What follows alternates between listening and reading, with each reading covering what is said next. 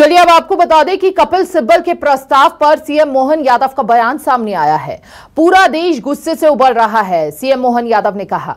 पहले ममता और उनकी पार्टी झूठ बोलती रही और बाद में कांग्रेस सपोर्ट कर रही है।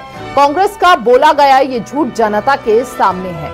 तो ये बड़ी जानकारी इस वक्त आपको दे रहे हैं, जहाँ पर कपिल सिब्बल को लेकर सीएम मोहन यादव द्वारा ये बयान दिया गया। है पूरा देश गुस्से में उबल रहा है। इतना गलत रास्ते जो गए हैं।